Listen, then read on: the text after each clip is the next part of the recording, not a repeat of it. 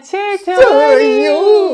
سلام بچه ها سلام سلام سلام سلام من کی هستم تو کی هستی آقا الان آقا. یه مدت کلا من ذهنم توی کفش و پا و سلامت بدن و اینا یعنی یه سره داریم ویدیو می‌بینیم مطلب می‌خونیم همش در مورد سلامت پا و اینا. چون واقعا من خیلی ورزش دور رو دوست دارم. قبلا با محمد می‌رفتیم میدویدیم خیلی حس خوبی داشتم. محمد کم کم گفت من دیگه نمی‌تونم بدوم زانو درد دارم و فلان و اینا. آره، به خاطر اینکه از اون کفشا استفاده, استفاده می‌کردیم. من نمی‌دونستیم که همیشه ولی می‌گفتم می‌گفت ورزش دو پرخطرترین ورزش آسیبش از. همه بیشتره و اینا. ولی دنبال چراییش نبودیم تا مدت ها. چرا؟ چرا واقعا یه ورزش باید آسیبش خیلی زیاد باشه تا اینکه سودی بخواد به بدنت برسونه؟ و حالا در این برنامه می‌خوایم این مطلب رو ادامه بدیم. حداقل یه چیزی به حرف داشته باشه. تو مخمی. من همیشه سعی می‌کنم صبح خواب بیدار میشم یه دوش آب سرد بگیرم کلا بیام بالا. امروز استثنا سه بار گرفتم فکر کنم. الان دوباره قبل ویدیو بیش رفتم. از حد اومده بالا یه دیگه دوش آب سرد گرفتم کلا مودم عوض شد. الان موندم روی می‌خوایم داخل این برنامه بگیم که چطوری به صورت سالم و سلامت بدون که به خودمون آسیب بزنیم از کفش های معمولی به سمت کفش های بارفوس و پابرهنه حرکت کنیم. چجوری آقا از این تغییر بدیم به این؟ چون تغییر ناگهانی این به این ممکنه آسیب زننده باشه. ممکنه آسیب زننده باشه. مثل تغییرهای دیگه تغییر سبک زندگی تغییر آره. نمی‌دونم همون تغذیه. وگان. ما یهو وگان شدیم به فنا رفتیم. آره ولی واقعا من دیگه اون موقع نمی‌تونستم گوشت بخورم. آسیبم خب اصلا نشدیم. اول وجتاریان بعد آره. بشیم یهو از آره این هم همونه. این هم مثل همونه. یه عمر آقا کلا تو با هر مدلی اصلا هر یه کی دقیقه اجازه بدید. Moments later. اینو شما در نظر بگیریم همکار محترمم الان من انجام با. این بخوام مثلا همسرم رو نوازش کنم. میشه اصلا؟ آقا. نگاه کن کف پای ما به یه چیز حتی از این زخامتش هم بیشتر چون که خیلی از کفشایی که می‌بینیم. آقا اصلا بدین روین شما فکر کنید اینقدر از زمین فاصله. داشته باشه می‌تونی بنویسی؟ می‌تونی. و سالها برداری. نشکنم می‌تونی برداری؟ نمیشه هیچ, کاری ما پامون نمی‌تونیم بکنیم و واقعا. حالا بعضی میگن به علم توجه نکن. به هرچی دکترها میگن توجه نکن. ولی اگه به خودت هم توجه بکنی می‌بینی که یه عمر اشتباه زدی. مثلا همین آقا تو یه عمر مثلا ما تو ایران تا چیزی می‌شد پنسیلین 6 یه میلیون دویست استامینوفن فلان. سیستم ایمنی آدم انقدر ضعیف شده بود که اینجا اومدیم یه سرما خوردیم اینجا دارو بهمون ندادن رفتیم تا دم مرگ یه سرما خوردیم ببین یه سال هر روز هم مریض. ما سرما آره. خورده بودیم همش رو به موت بودیم اصلا واقعا نمی‌دونستیم چه بلایی سرمون اومد. بدن ضعیف بود دیگه الان حالا بعد ده سال اینجا چون هیچ دارو مصرف نکردیم مثل ایران الان از اون بر افتادیم الان اصلا که اگه وارد. یه جایی مثل ایران بشیم میمیریم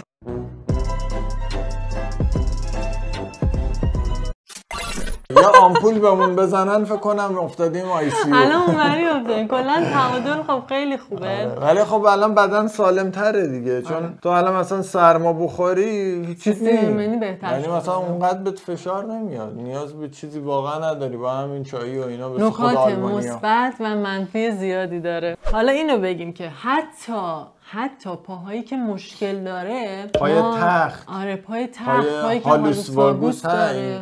انگشت شسته اینجوری شده. کج شده.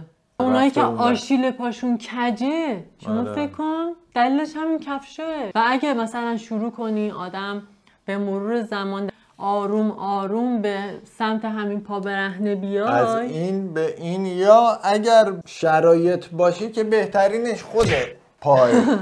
ولی خب از اونجایی که ما تو شهر زندگی می‌کنیم حتی از بین میره. یعنی آره. این چیزی نیست که ما بگیم. ما این چیزی که در سر تحقیق به دست آوردیم و من تو دیسکریپشن هم این یه سری دکتر آیا می‌دانستین پا برهنه ترین مردم جهان استرالیاییان؟ واقعا می‌دونستین عاشق پای پیاده را رفتنن. تو شهر ها نه تو. یارو بود مستند میساخت می‌رفت حیوونا رو می‌دید پا برهنه بود همیشه عاشق اون بودم من. اون نه. کلا تو شهر پا برهنه میرن خرید میان.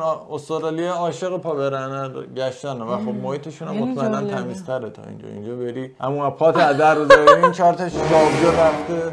تو پات از دهنت اینجا خیلی زیاده و متاسفانه. پر شیشه شکسته آبجوه. بسیار. مثلا تو برلین خیلی کاری زیاد کردن. مورد عنایت قرار داده. کل شهر. آره برلین از- تا تا کاتسه به قول خود یعنی استفراغ. همه چی هست. حالا نه به این شدت ولی آره هست. هست واقعا هست. اصلا خیلی کثیفه. برلین جزو کثیفترین شهرهاییه که تو عمرم دیدم. آره آقا اگر شما ورزشکار هستی و می‌خوای به سمت کفش بارپوس یا پای برهنه بیای البته به جز دو دو رو آخر سر میگم شروع کنید. ورزش بدون کفش. یعنی حتی با پای دنبل. می‌زنی پا برهنه برو دنبل بزن. آره. تو باشگاه اگه این امکان وجود داره کفش اینا هم اگه نداری هم نداشت پا برهنه آقا. همین این باعث میشه که مایچه های کف پا که از کار افتادن کم کم قوی بشن کم کم شروع به حرکت کنن شروع به فعالیت بکنن و اینا. همون گودی پا که نداری کم کم شروع به شکل گرفتن بکنه. یه دلیلش فلجی بودن اون عضله اینجوری افتاده. وقتی اون عضله به کار گرفته بشه از فلجی در میاد اینجوری میشه. و اگر هم ورزشکار نیستی کفشاتو هی سانتشو کوتاه کن. آره هی این زیر کفشایی که استفاده می‌کنی اگه هی اینی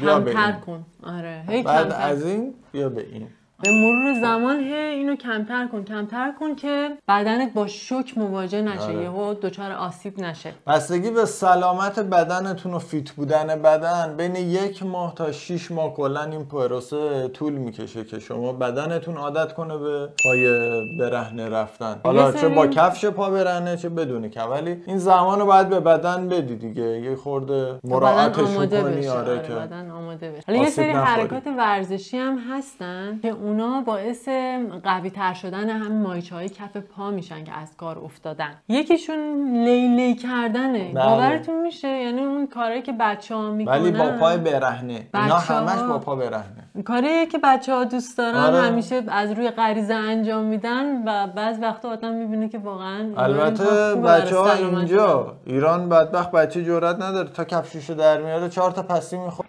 امام زمان یک چکی میدن که تو روله تمامت خون در بیا بچه کفش تو بپوش. کثیف فلان بیسار کسافت اینجا نکنین واقعا این کارو نکنین. اگه پدر. مادر هستین بذارین بچه ها آزاد باشن چون اینجا واقعا اینطوریه. یعنی اینجا بچه ها کلا پا برهنه هستن. تو زمین بازی و اینا اصلا کفش تو همون مهد کودک و اینا تا میان تو حیات همه همه چی می‌کنن.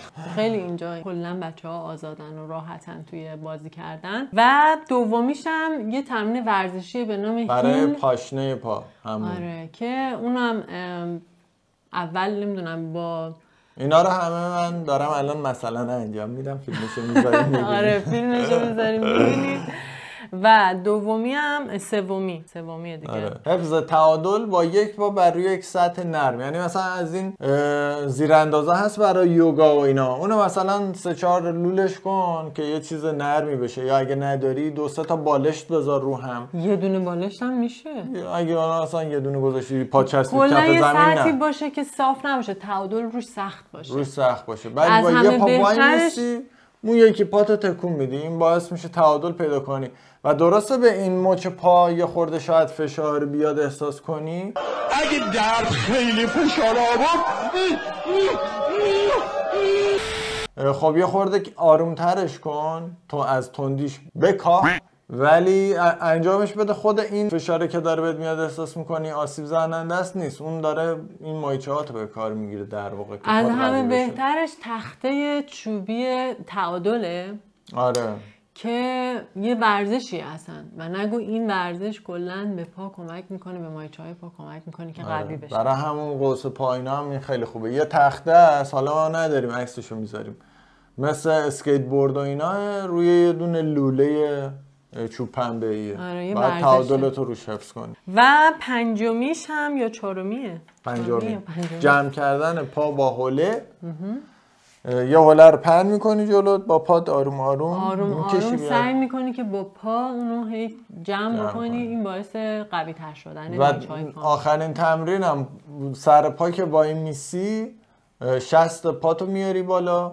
انگشتای پا دیگه پا رو زمین فشار میدی شست پا رو میاری بالا. بعد برعکسش میری. یعنی شست پا رو می‌ذاری زمین فشار میدی باقی انگشتا رو میاری این بالا خیلی برای من سخته. آره. ولی اینا اینو همه برای انجام میده. والا من با پاهم می‌تونم غذا هم بخورم. قاشق بگیرم. از اول شبیه میمونا بود. آره. این ببین میمون. کارایی با پاش میگه من اینجوری خدایا مگه میشه؟ تا حالا برای یه چیزی افتاده زمین بلند خم نشدم برش دارم. با پا برمی‌داری. بابا برمی دارم میارم بالا راحت. بچه ها یه چیز دیگه هم بگیم که این برنامه رو تموم کنیم تایمی زیاد نشه. اینه که اگر دونده هستیم. الان خیلی خوشحالی؟ نه داغونم. افتضاح هستم. آقا یه چیزی رفت داشته باشه. اگر دونده هستیم و می‌خواین که شروع بکنید با کفشای بارفوس یا پای برهنه حواستون باشه که این برای شما یه خورده سختتر این پروسه. یک تا شیش ماه ممکنه طول بکشه تو آدمای مختلف متفاوته. و اینطوریه که هر دفعه که میرید میدوید از اون مقداری که همیشه میدوید 20 درصدش رو فقط اجازه دارین پا برهنه بدوین یا با کفش بارفوس. آره یعنی مثلا قبلا با این کفشا ده کیلومتر میدویدی دو کیلومترشو با این بدو بقیه‌شو همون. باقیشو با همین این کفشت بدو هفته بعد چهار هفته کیلومتر. بعد دوباره آره 20 درصد بهش اضافه 20 کن درصد همینجوری. اضافه کن. همینطوری کم کم پاد عادت می‌کنه بعد پنج هفته دیگه می‌تونی قشنگ عوض کنی و از این بپوشی و اون وقت از هفته ششم می‌بینی که 10 کیلومتر شد 12 کیلومتر با همون مقدار انرژی ها با همون مقدار انرژی که قبلا 10 کیلومتر میدویدی الان دو کیلومتر بیشتر هم میدوی. تازی.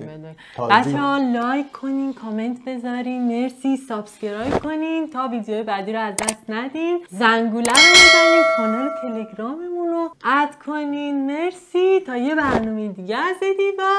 درود و دو صد بدرود. الان چه رفتی داره اصلا؟ می‌خوایم این مطلب رو ادامه بدیم ادامه بدیم بچه ها یه چیز دیگه هم بگیم که این برنامه رو تموم کنیم تایمی زیاد نشه اینه که اگر دونده هستیم